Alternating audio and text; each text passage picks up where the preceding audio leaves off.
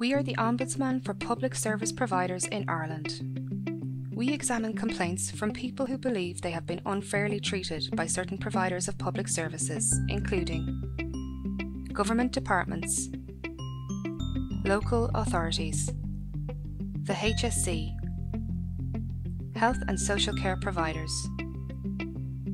higher education bodies such as universities and SUSI, public and private nursing homes, direct provision services. Our service is free and fair. The Ombudsman is independent of government.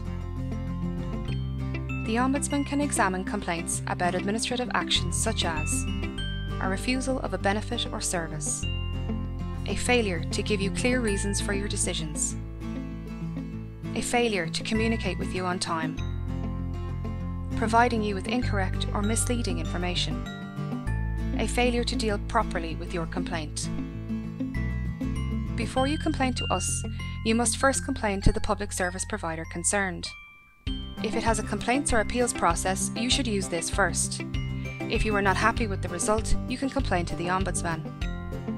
The easiest way to submit your complaint to us is by using our online complaint form.